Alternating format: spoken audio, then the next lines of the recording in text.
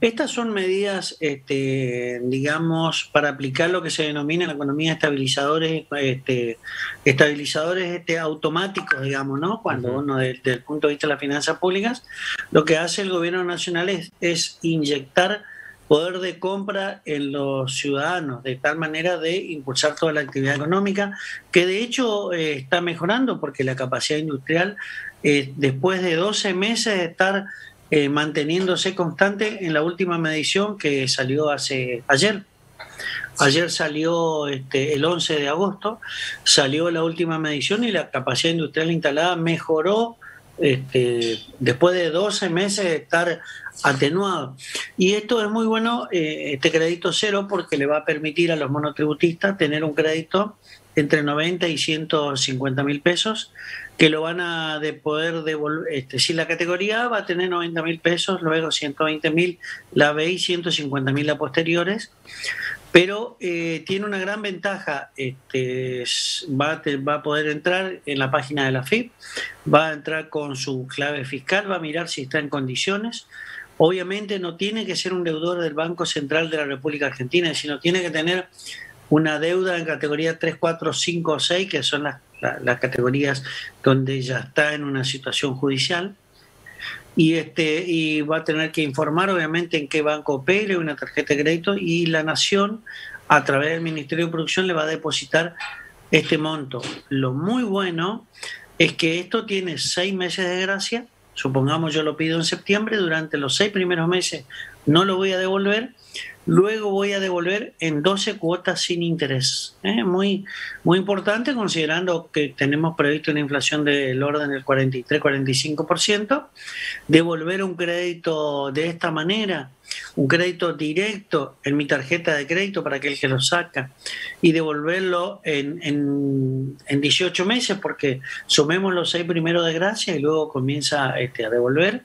Es muy, muy importante para capital de trabajo para el pequeño monotributista o para cancelar alguna deuda que él a su vez pudiera tener. Así que es, es muy relevante, digamos, ¿no? Lo, lo, importante aclarar que mencionaste ahí, que va a haber ciertas restricciones. Por ejemplo, no tengo ese deudor del Banco Central, como mencioné recién, categoría 3, 4, 5, 6. Si yo tengo un crédito pendiente del monotributo y estoy en deuda, estoy moroso porque no lo pude pagar, al sacar este nuevo crédito, se me va a descontar lo que estoy debiendo y me quedará el remanente. Y también tiene algo que es muy importante, la restricción para que yo, si sacara este sistema, este crédito a tasa cero, no vaya al mercado, al mercado de divisas a comprar divisas o estar operando en el mercado este, externo, porque lo que se busca justamente es que este dinero que el gobierno nacional entrega a los monotributistas en forma de crédito quede dentro del país.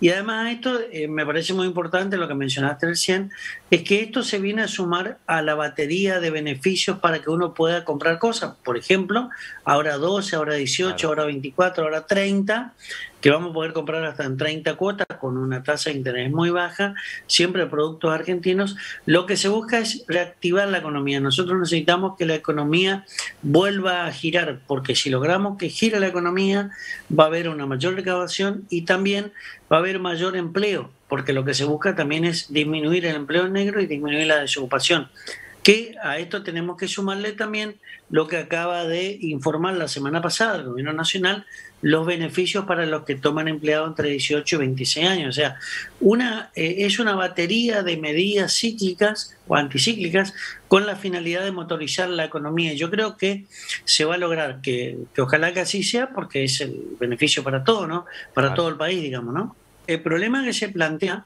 que se planteaba, ahora lo modifica el señor presidente, que me parece que recibió la, el pedido, este, el reclamo de muchos sectores que, por ejemplo, en aquellas actividades estacionales, yo tuve un, diálogo con gente de Salta, de Jujuy, este, gente que toma trabajadores de temporada, no querían ir a trabajar porque supongamos que un trabajador de temporada de tres meses, eh, yo le decía que venga a trabajar en mi cosecha o venga a hacer una actividad rural y él me decía que no, porque por tres meses iba a perder el beneficio de todo un año, el beneficio de los tipos de beneficios de tipos sociales, asignaciones que eran todo el año, lo perdía por tres meses. Entonces, de esta manera, ¿qué se logra?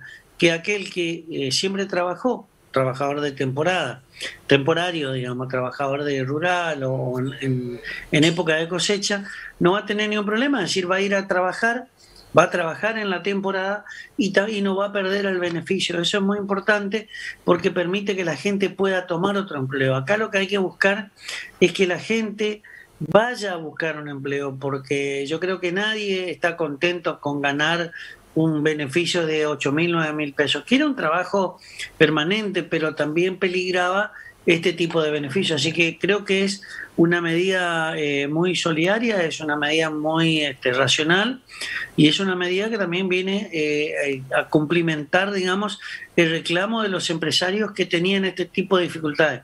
El trabajador no quería perder su beneficio porque este, por tres o cuatro meses de un trabajo temporario. De esta manera puede venir a trabajar, nadie le va a quitar las asignaciones y favorecemos el empleo en blanco. Recordemos que en Argentina tenemos el orden del 43-45% de un núcleo duro de empleo negro que tenemos que erradicar a lo que debemos sumarle una desocupación también elevada. Así que son todas medidas pro mercado y bienvenido sea, porque la Argentina necesita salir del estancamiento en el que estamos, también producto de, medidas este, de muchos años y también producto de esta larga cuarentena que nos afectó no solo a la Argentina, sino también a todo el mundo. ¿no?